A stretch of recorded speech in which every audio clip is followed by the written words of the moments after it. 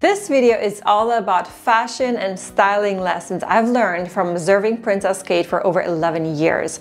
I'm warning you, it's going to be a long video and I didn't want to separate it. Now feel free to pause and rewatch these tips. They are very good. So grab a nice cup of hot coffee and enjoy. Now, if you've seen my video on how to find your personal fashion style, well, then you probably saw this one coming.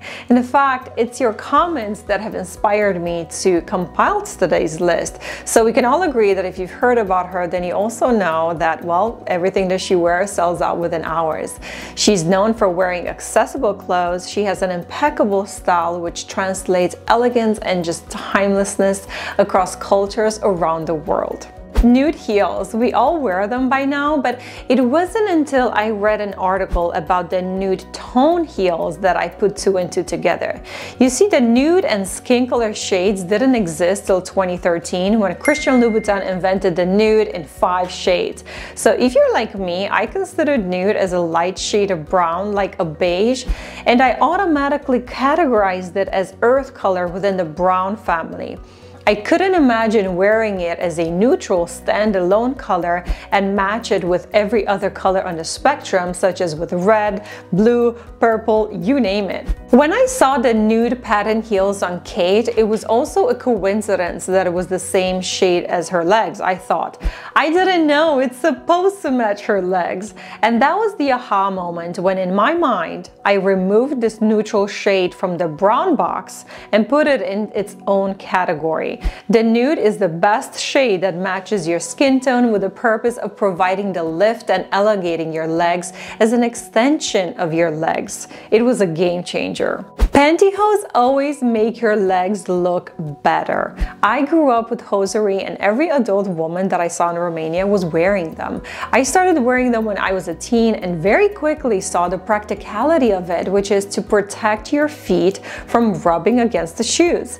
You never wear shoes against the skin unless it's summer with open toe shoes. And even then, I would argue sometimes you need it for the comfort. Now, if we analyze the aesthetic aspect of how good the legs look, I mean, the hosiery is her secret as well for looking put together, polished, and as I always say, it really is makeup for the legs. Now, another interesting fact that I read is that Wearing hosiery is required and part of the etiquette in some circles. I remember reading that one must always wear them in, you know, the queen's presence back when she was with us. Comment down below and let me know what are your thoughts on this topic. I want to say that it's also a cultural habit. I mean, in the US, it's rare and people find it constraining. Yet, you know, ironically, the Spanx shapewear brand came to life with this concept in mind. The founder, Sara Blakely, said the night the idea came to her was when she tried on pantyhose and cut the legs off just to give her the tightness around the waist. Now, I would have kept the entire thing on, but fast forward 22 years, now there's an entire industry industry dedicated to shapewear, but pantyhose are still struggling somehow to be popular. There's a dress for every occasion. Of course, I watch her outfits, especially when she's traveling and on tours, but my favorite outfits are when she is photographed in casual day-to-day -day activities, just like us, because we get to see the human side as well, you know, more relaxed setting where she can dress herself for herself. And in these settings, I noticed that she's still wearing dresses, casual cotton dresses, shirt dresses, relaxed, flattering fits. And even while on tour participating in sporting events, she still manages to wear dresses midi or maxi length, or when taking her kids for a walk on a stroller. So ladies, there are no excuses for us. If she can do it with millions of eyes on her, then so can we. And this is such a great example that I've taken into consideration when dressing casually. It has redefined my own notion of casual. And it's this category that I think we can all focus on more. Simple lines, monochromatic dresses, the shirt dress is the easiest casual version, Our A-line, white, light colors, no fuss, easy day-to-day -day wear with flats or wedges wedges. So next time you dress up Saturday morning or when you go for a walk, run errands, I hope you can reconsider pants and go for a skirt or a dress. Now, don't worry, I'm tempted as well. And other than being cold, I will choose a skirt for a casual look. Here I can recommend to you a simple pleated skirt that you can just throw on with a simple top and a boat shoes. Make sure it's in a color that you can easily style with the rest of your wardrobe. There are heels for every occasion. Same as with the dresses, I notice she almost always wears heels, especially for activities the rest of us don't. So depending on the softness of the ground, when she has sporting events on grass, for example, or walks in the garden, even when walking on the beach, she wears wedges tall, four inch wedges sometimes. She played volleyball in four inch heels. Kudos to her. I would be too scared to, you know, tumble, especially in front of the cameras. I mean, this is such a nice example that you don't need to wear only flip flops on the beach or that you need, you know, running shoes simply because you're walking on grass. For this reason, I recommend investing in a pair of low wedges, one to two inch tall, and if this is too short for you, just consider them as flats with a lift. they will shape you in a more flattering way, not only for a little bit of extra height, but also the visual feminine touch of the sandals. It's pleasing to the eye and looks favorable on all of us. So if you're wondering what to wear on top, well, you guessed it, a nice flowy dress. You can't go wrong with this look. Coats are investment pieces. My love of coats started with her as well. And you know, as I'm thinking about these points in the video, I realize how much of an influence she has on me or had. You see, the seed was planted in my mind when I was a child and seeing my mom wear beautiful long coats. When I see Kate wear them, it's probably custom and you know, just a way of life in the UK. In the US, it's not as popular other than, you know, seeing on the politicians. We settle for the shell jacket here, which are warm and pricey sometimes, we can all agree that coats are the most elegant version of outerwear. So if you see the diversity of shapes, styles, and colors that she wears, yes, it looks polished and timeless, elegant, but also wearable. It's not something fancy you save in your closet for the holidays. I encourage you to invest in these simple, classic versions that you will reach out for.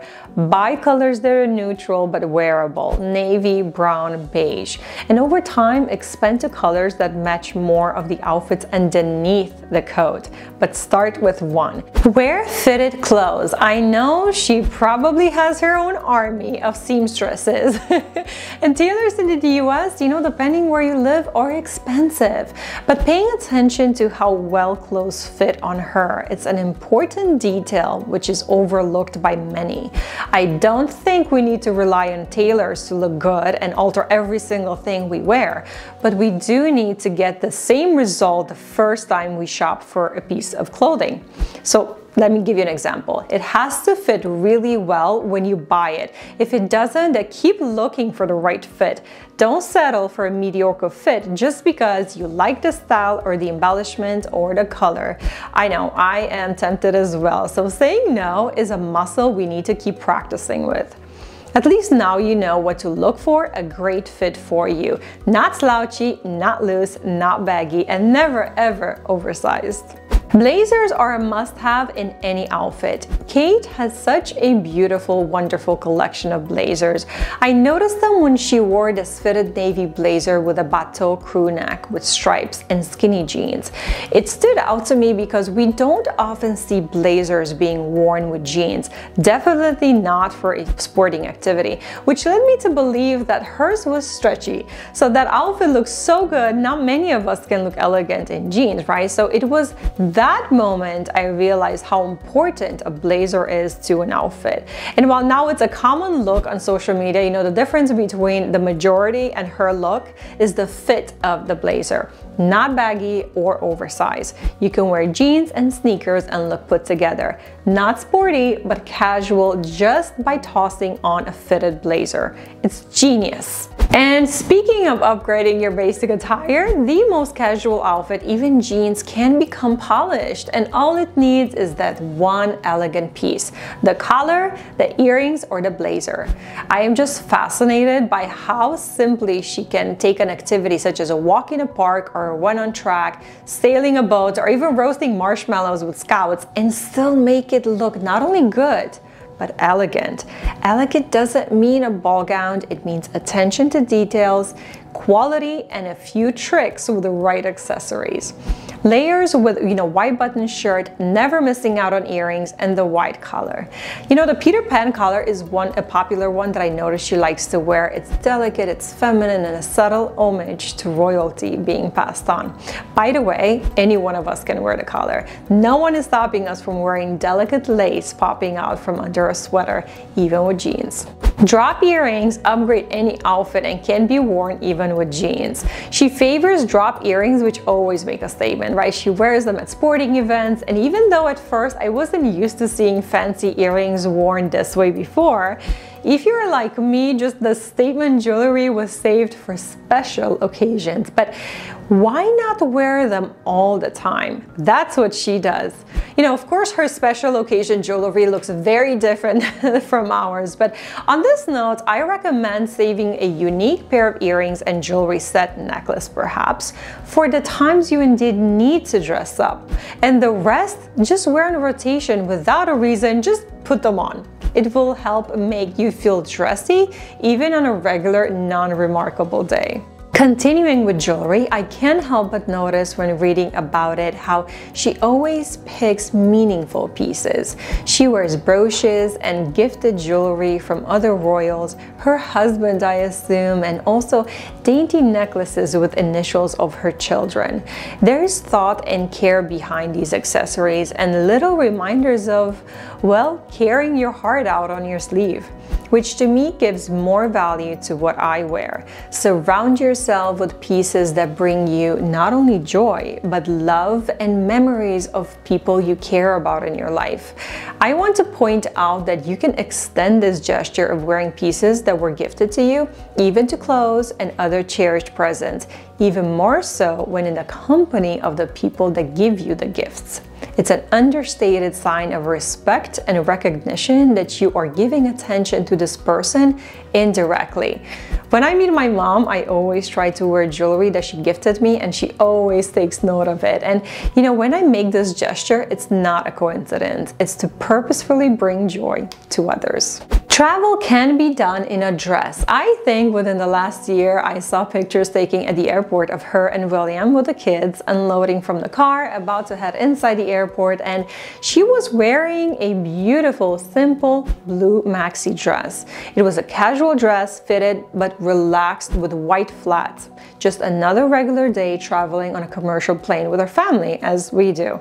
So this image said so much to me because she's still maintaining her feminine aura while being casual and comfortable. We all want this, right?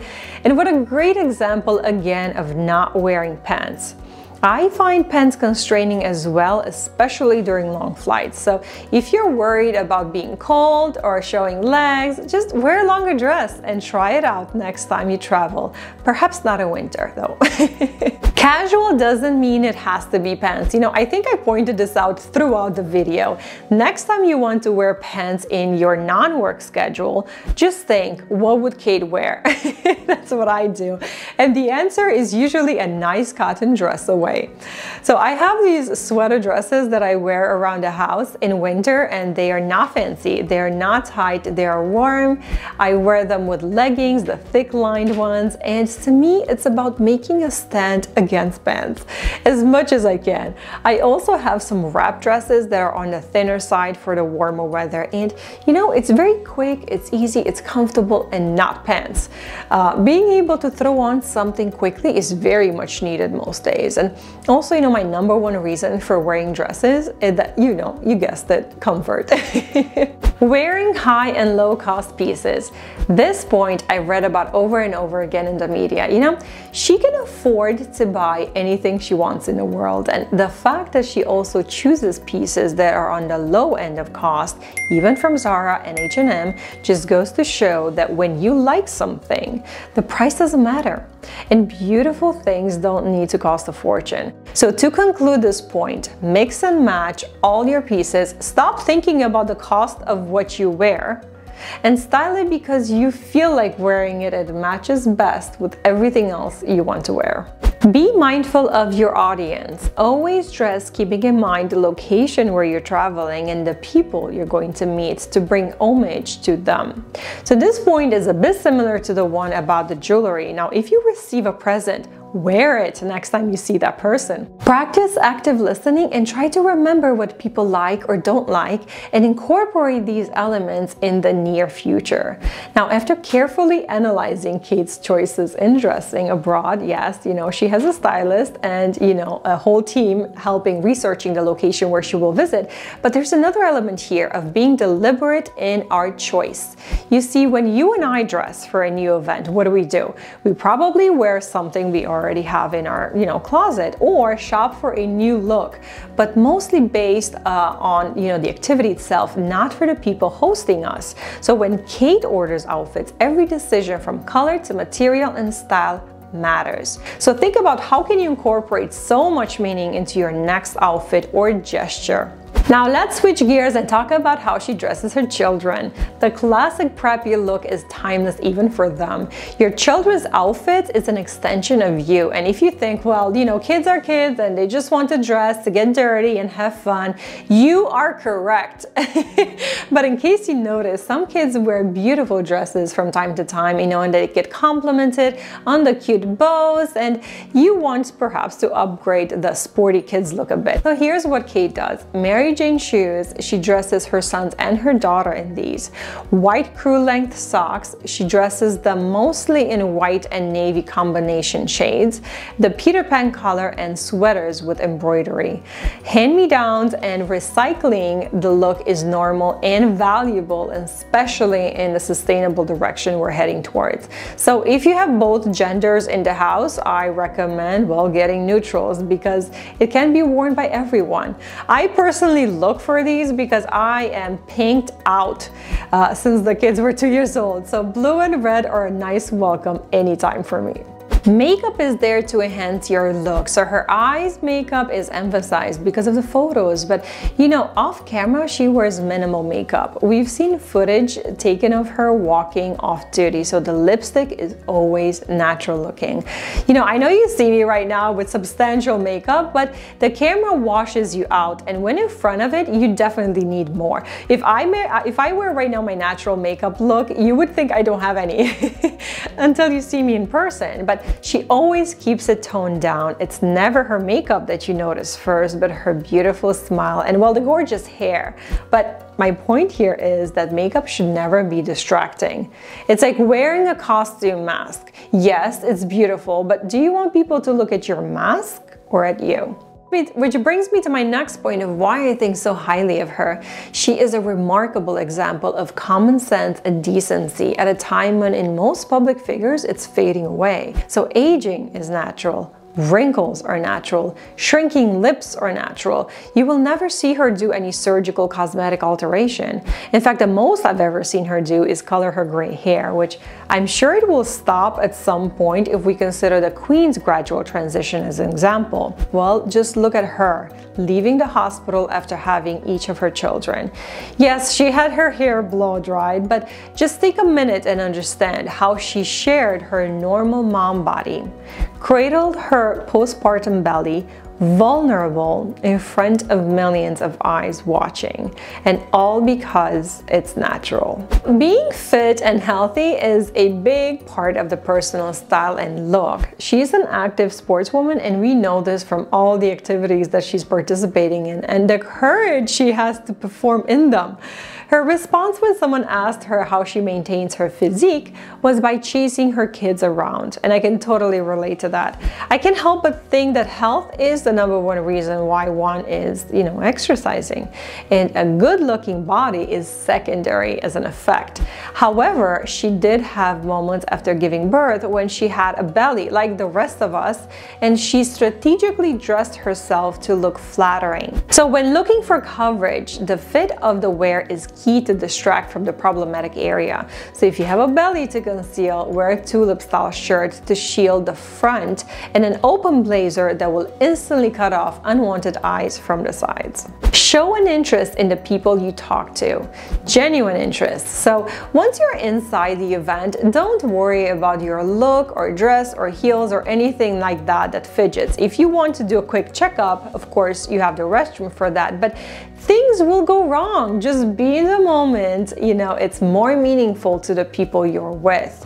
So here I remember early on in her marriage, she visited a camping ground and was playing with clay with a group of children, scouts, and she didn't mind to get that ring dirty. And the witness's reaction was mixed because we know how precious and important the ring is, but I would argue even more so to her and you know, it can be cleaned, but those are kids' memories interacting with her that will last a lifetime. So I think that was a very real moment of her.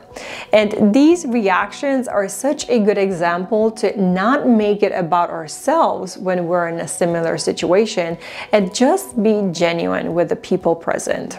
And my last point that I've learned from her is to be genuine and kind. The smile is the best accessory to any outfit. So we know this even from the best communicators that smiling, even over the phone when no one can see you, sets the tone for success. In addition to the fact that a smile is contagious and incredibly attractive and disarming. So always start and end the conversation with a smile.